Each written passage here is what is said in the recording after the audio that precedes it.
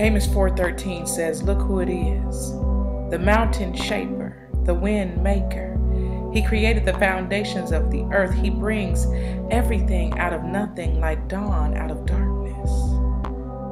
He strides upon the highest point of the earth. Who is it? It is God. That's Amos 4:13 and the reason why I wanted to tell you that today cuz I wanted to focus on the key part of that scripture that talks about how he brings everything out of nothing but how he is the wind maker. The title of the message today is Catch the Wind. The reason why I'm telling you to catch the wind is because when birds fly, they can catch the wind and it can help them do three things. It helps them to elevate, progress forward, and it also can help them to rest. Because, see, when a surge of wind comes through, it can actually elevate a bird higher than what it's already flying. When it comes through, it can also progress a bird further and faster than what it was already going.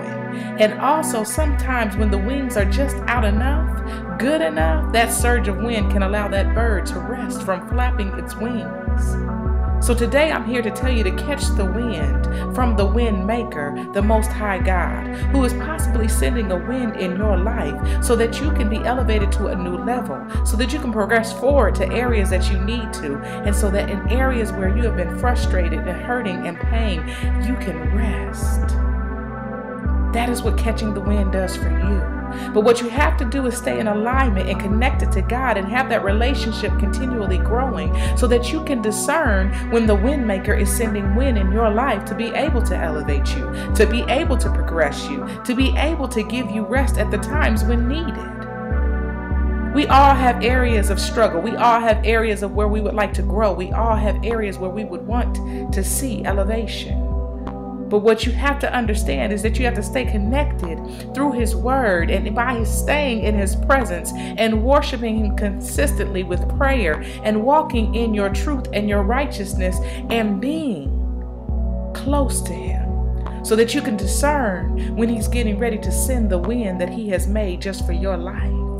So get ready to catch the wind because we are all flying through this thing called life. And whenever God sends wind of elevation or progression and rest, we need to be aware of it because God is trying to always continuously grow us and take us to new places and move us forward into things out of our comfort zone and give us rest from things and let us know that you don't always have to do it on your own. I'm here to lift you up when you need it.